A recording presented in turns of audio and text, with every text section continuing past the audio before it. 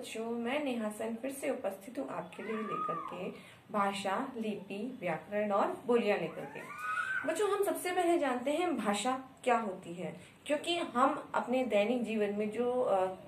भाषा काम में लेते हैं उसके बारे में आपको पता होना चाहिए ना वो क्या है क्या उसका अर्थ होता है क्या उस कौन सी भाषा से उसकी उत्पत्ति हुई है तो आइए हम देखते हैं हम आज के टॉपिक में चार चीजें पढ़ेंगे पहला है भाषा फिर लिपि व्याकरण एवं बोली ठीक है तो सबसे पहले हम देखते हैं भाषा बच्चों भाषा जो शब्द है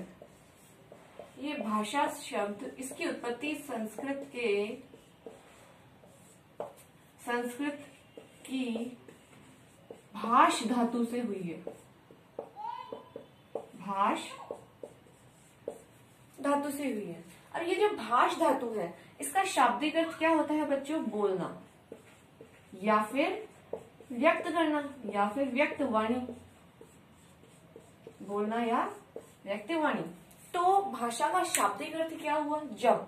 प्राणी अपने मनोभावों को अपने विचारों को वाणी के माध्यम से व्यक्त करता है बोलता है या किसी और के सामने प्रकट करता है तो वो क्या होती है भाषा भाषा एक साधन होती है जो व्यक्ति के विचारों को एक स्थान से दूसरे स्थान पर पहुंचाती है एक स्थान से दूसरे स्थान से तात्पर्य क्या हुआ एक व्यक्ति से दूसरे व्यक्ति की ओर पहुंचाती है तो वो क्या हो जाती है भाषा तो भाषा क्या है बच्चों साधन है जो व्यक्ति के मनोभावों और विचारों को एक व्यक्ति से दूसरे व्यक्ति तक पहुंचाती है ठीक है अब भाषा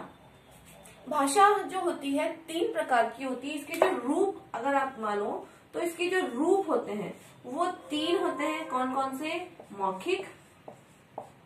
मैं आपको यहाँ पर लिख, मतलब लिख कर नहीं अगर बोल कर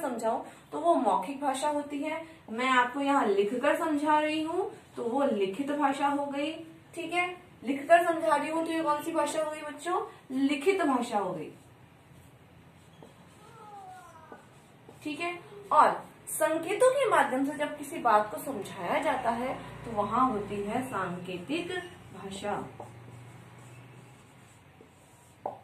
ठीक है बच्चों जैसे मौखिक मैं आपको बोलकर समझा रही हूँ सारी चीजें मैं आपको लिख के नहीं बता रही हूँ तो जो बातें जो विचार जो मनोभाव लिखकर व्यक्त किए जाते हैं वो लिखित भाषा हो जाती है जो बोलकर समझाए जाते हैं जो बोलकर विचारों को अभिव्यक्त करते हैं वो भाषा मौखिक भाषा हो जाती है और संकेतों के माध्यम से जैसे आप देखते हैं कहीं पर ये पी वाला निशान होता है उस पर क्रॉस बना हुआ आता है तो ये संकेत है किस चीज का संकेत है कि यहाँ पर पार्किंग सुविधा उपलब्ध नहीं है यहाँ पर नो पार्किंग है ठीक है ट्रैफिक पुलिस जो होती है यातायात पुलिस जो होती है होती है वो इशारों के माध्यम से नियमों को समझाती है संकेतों के माध्यम से नियमों को समझाती है और जनता को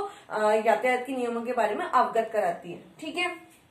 तो ये थी हमारी भाषा भाषा क्या होती है व्यक्ति अपने विचारों को मनोभावों को एक स्थान से दूसरे स्थान तक पहुंचाता है तो वो किस माध्यम से पहुंचाता है भाषा के माध्यम से पहुंचाता है ठीक है भाषा कौन सी भाषा से ली गई है संस्कृत की भाष धातु से ली गई है जिसका शाब्दिक अर्थ जो होता है वो होता है बोलना या व्यक्त करना ठीक है बच्चों भाषा के रूप कितने होते हैं तीन मौखिक लिखित और सांकेतिक ठीक है पहला था हमारा भाषा अब भाषा को लिखने के लिए कुछ चिन्ह बनाए गए और निश्चित व्यवस्थित चिन्हों को ही क्या कहा जाता है लिपि कहा जाता है भाषा का लिखित रूप ही क्या कहलाता है बच्चों लिपि कहलाता है ठीक है तो लिपि का शाब्दिक अर्थ क्या हुआ लिखना अर्थात भाषा को लिखने के लिए जो हमारे आचार्य थे जो विद्वान थे उन लोगों ने क्या किया निश्चित चिन्ह बताए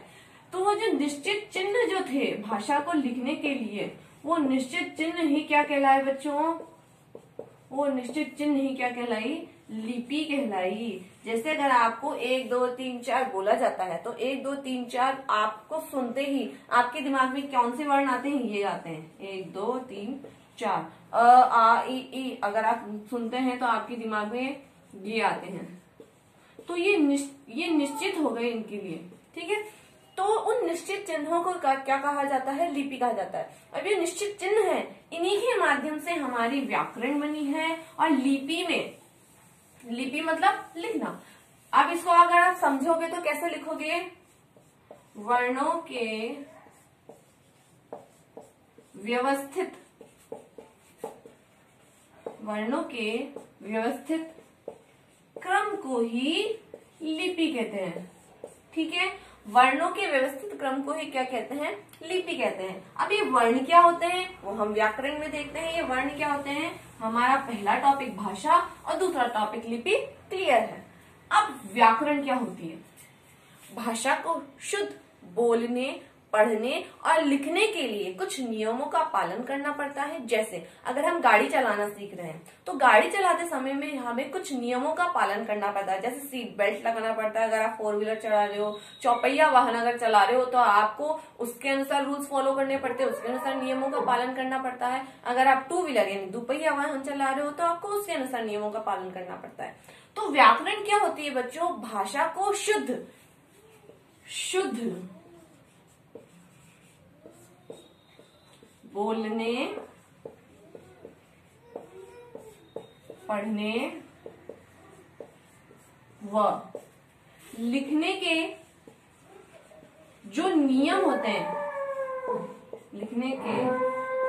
जो नियम होते हैं बच्चों वही क्या कहलाती है व्याकरण कहलाती है व्याकरण को तीन भागों में बांटा गया है व्याकरण के अंग मान लो आप व्याकरण के जो अंग होते हैं जिनसे हम पढ़ना सीखते हैं बोलना सीखते हैं लिखना सीखते हैं वो कितने होते हैं तीन इसमें पहला होता है वर्ण व्यवस्था या वर्ण विचार दूसरा होता है शब्द विचार और तीसरा होता है वाक्य विचार वर्ण विचार के अंदर आपके स्वर और व्यंजन आते हैं अगर आपको स्वर और व्यंजन आ गए तो स्वर व्यंजन से आप शब्द बनाना सीखते हो अगर आपको शब्द बनाना आ गए शब्द निर्माण की प्रक्रिया आ गई जिसके अंदर संधि आदि है समास कार्य उपसर्ग प्रत्यय इत्यादि आते हैं अगर आपको वो कार्य आता है तो आपको शब्द निर्माण आ जाता है शब्द बनाना आता है और यदि आपको वर्ण और शब्द दोनों आ गए तो आप वाक्य भी आसानी से बना सकते हो उसे बहुत ही आराम से आप शब्दों को वाक्यों में बदलकर अपनी बात को स्पष्ट कह सकते हो अपनी जो संवाद है अपनी जो बातें हैं अपने जो विचार है उनको अच्छी तरह से व्यक्त कर सकते हो ठीक है बच्चों तो भाषा क्या हुई भाषा एक साधन है जिसके माध्यम से व्यक्ति अपने विचारों को अपने मनोभावों को दूसरे स्थान तक पहुंचाता है लिपि क्या है भाषा के लिखित रूप को लिपि कहते हैं वर्णों के व्यवस्थित क्रम को ही क्या कहा जाता है लिपि कहा जाता है व्याकरण क्या होती है भाषा को शुद्ध पढ़ने लिखने एवं बोलने के लिए कुछ नियमों का पालन करना पड़ता है और वो नियम किसमें दिए गए हैं व्याकरण में दिए हैं व्याकरण के माध्यम से ही हम शुद्ध और अशुद्ध भाषा के लेख लेख यानी लिखने को सुनने को सुन तो हम कैसे भी सकते हैं शुद्ध भी सुन सकते हैं अशुद्ध भी सुन सकते हैं लेकिन भाषा को शुद्ध लिखने बोलने और पढ़ने के लिए जिन नियमों का पालन किया जाता है वो क्या कहलाते हैं बच्चों वो कहलाती है व्याकरण अब तीसरा जो टॉपिक है हमारा वो है बोली भाषा और बोली सुनने में तो एक जैसे लगते हैं बच्चों लेकिन दोनों का अर्थ अलग अलग होता है कैसे होता है चलिए देखते हैं देखिए बोली जो होती सबसे पहले भाषा को आप जानते हैं भाषा क्या होती है भाषा का जो क्षेत्र होता है वो विस्तृत होता है लेकिन जो बोली होती है बोली जैसे पंजाब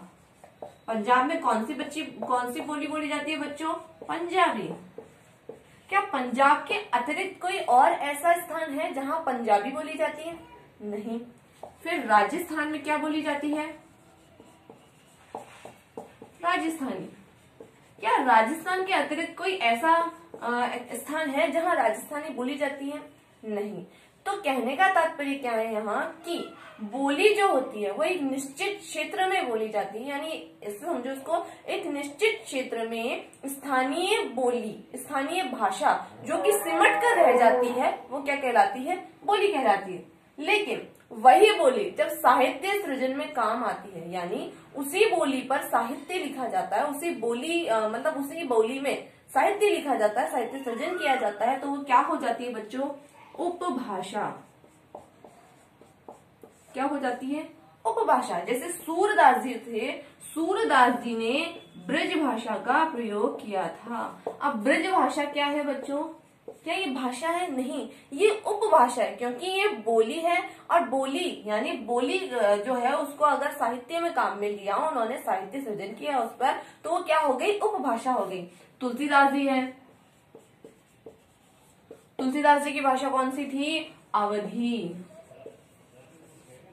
कौन सी थी अवधि ऐसे आप भारतेंदु जी को लीजिए या जो आधुनिक कवि हैं उनकी बोली खड़ी बोली है तो वो खड़ी बोली भी क्या हो गई उपभाषा हो गई बच्चों ठीक है तो आपको भाषा समझ में आ गया लिपि समझ में आ गया व्याकरण समझ में आ गया बोली समझ में आ गया अच्छा बच्चों हम आज सबसे इम्पोर्टेंट बात जो है आज की वो ये है कि हमारी जो आठवीं अनुसूची है भारतीय संविधान की उसके अंदर हमारी 22 भाषाओं को सम्मिलित किया गया है भारत जो है वह अनेक भाषाओं का देश है तो 217 के लगभग भाषाएं हमारे भारत में बोली जाती हैं उनमें से 22 भाषाएं जो है वो हमारे अनुसूचियों में शामिल जो आठवीं अनुसूची उसमें शामिल की गई है एक बार वो भी देख लेते हैं कौन कौन सी है देखो असमी बंगला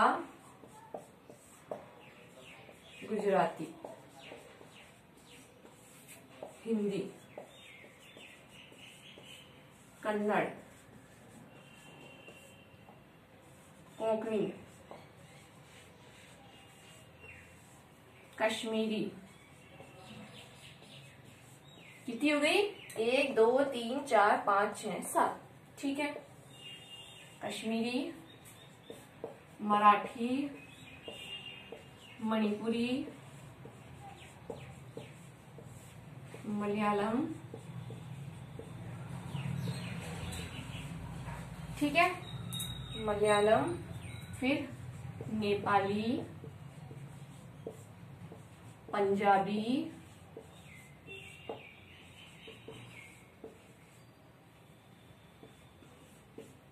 सिंधी संस्कृत उर्दू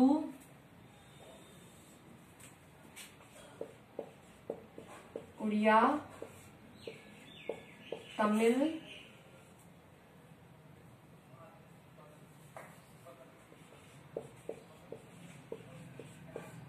तेलुगु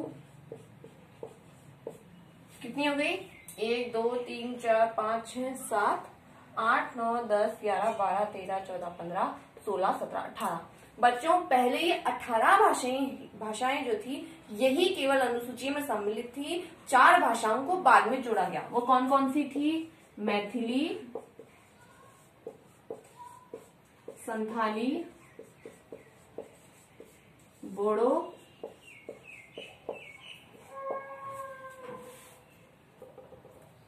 और डोगरी